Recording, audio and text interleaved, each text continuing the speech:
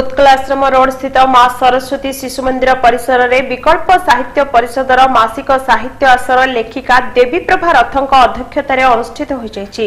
ସୁଚେତା ପାଣିଗ୍ରାହୀ ଏଠାରେ କବିତା ସଂଯୋଜନା କରିଥିବା ବେଳେ ଅଧ୍ୟାପକ ଲକ୍ଷ୍ମୀନାରାୟଣ ପଣ୍ଡା ସମୀକ୍ଷା କରିଥିଲେ। ଲଡୁକିଶୋର ସାହୁ ଚିତ୍ତରଞ୍ଜନ ପଣ୍ଡା ଜ୍ୟୋତ୍ସ୍ନାରାଣୀ ସ୍ୱାଇଁ ଗୌରଚନ୍ଦ୍ର ଭୂୟାଁ ଗରିବ ବନ୍ଧୁ ସୁଚେତା ପାଣିଗ୍ରାହୀ ପଦ୍ମିନୀ ମିଶ୍ର ମନୋଜ ପାଢୀ ରମେଶ ଚନ୍ଦ୍ର ସାହୁ ଲକ୍ଷ୍ମୀନାରାୟଣ ପଣ୍ଡା ଜୟରାମ ମହାରଣା ମାନସ ଦାସ ରଥ ଡିଗାଲ ଓ ଲିଲୁ ଡାକୁଆ ପ୍ରମୁଖ ଏହି ଅବସରରେ ଉପସ୍ଥିତ ଥିଲେ।